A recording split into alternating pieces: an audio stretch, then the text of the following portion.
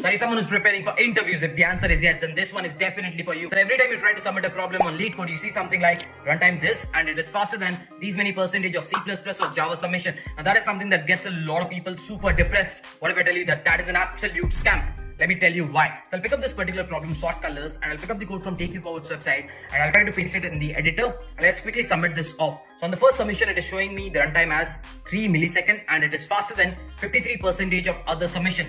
Now I'm thinking that we still have 47 percentage of people doing better than me. Wait, wait. Let me try to submit it again. So I'll try to submit the same code again.